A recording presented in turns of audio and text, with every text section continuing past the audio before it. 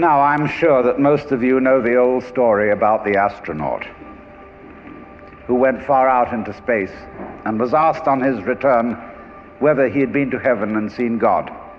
And he said yes. And so they said to him, Well, what about God? And he said, She is black. and although this is a very well known and well worn story, it is very profound. Because, I tell you, I knew a monk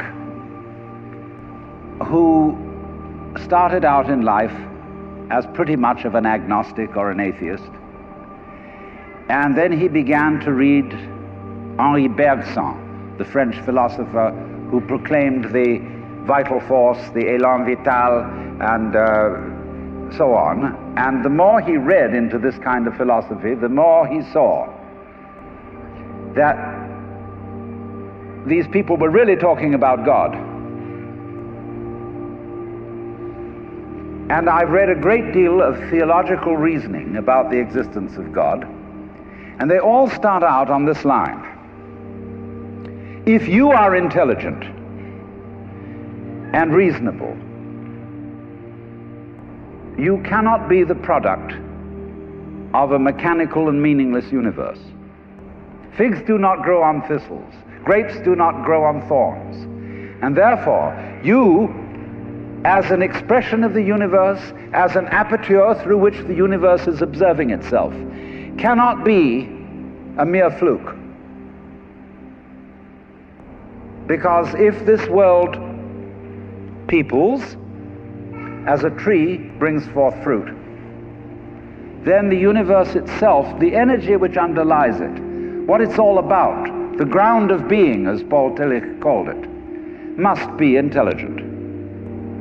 Now, when you come to that conclusion, you must be very careful, because you may make an unwarranted jump.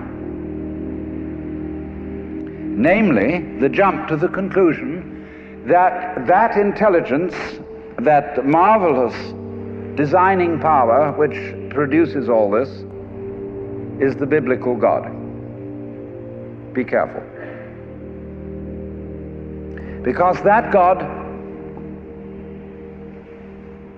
contrary to his own commandments, is fashioned in the graven image of a paternal, authoritarian, beneficent tyrant of the ancient Near East.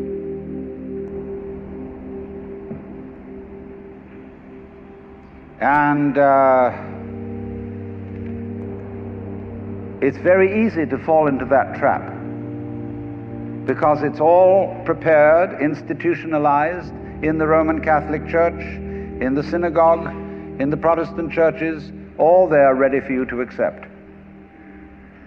And by the pressure of uh, social consensus and so on and so on, it is very natural to assume that when somebody uses the word God, it is that father figure which is intended.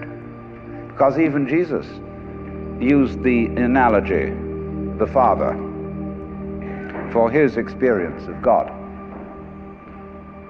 He had to. There was no other one available to him in his culture. But nowadays, we are in rebellion against the image of the authoritarian father. Especially this should happen in the United States, where it happens that we are a republic and not a monarchy.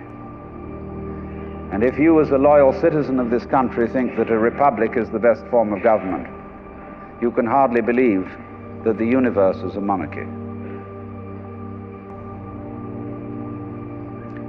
But to reject the paternalistic image of God as an idol is not necessarily to be an atheist. Although I have advocated something called atheism in the name of God. That is to say, uh, an experience, a contact, a relationship with God, that is to say, with the ground of your being, that does not have to be embodied or expressed in any specific image. Now, theologians on the whole don't like that idea. Because I find in my discourse with them that they want to be a little bit hard nosed about the nature of God. They want to say that God has indeed a very specific nature. Ethical monotheism means that the governing power of this universe has some extremely definite opinions and rules to which our minds and acts must be conformed. And if you don't watch out, you'll go against the fundamental grain of the universe and be punished. In some way, old fashionedly, you will burn in the fires of hell forever. More modern fashionedly, you will fail to be an authentic person. It's another way of talking about it. but there is this feeling, you see, that there is authority behind the world, and it's not you, it's something else like we say, that's something else that's far out. and therefore,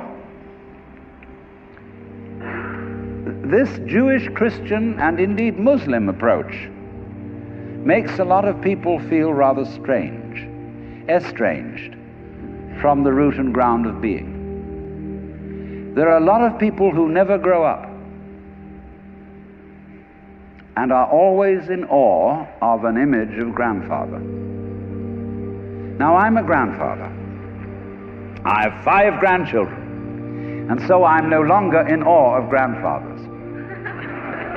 I know I'm just as stupid as my own grandfathers were, and uh, therefore am not about to bow down to an image of God with a long white beard. Now, naturally, of course, we intelligent people don't believe in that kind of a God, not really. I mean, we think that God is spirit, that God is uh, very undefinable and infinite and all that kind of thing. But nevertheless, the images of God are far more, have a far more powerful effect upon our emotions than our ideas. And when people read the Bible, and sing hymns. Ancient of days, who sittest throned in glory, immortal, invisible, God only wise, in light inaccessible, hid from our eyes. They still got that fellow up there with a beard on. It's way in the back of the emotions. And so we should think, first of all, in contrary imagery. And the contrary imagery is, she's black. Imagine instead of God the Father, God the Mother.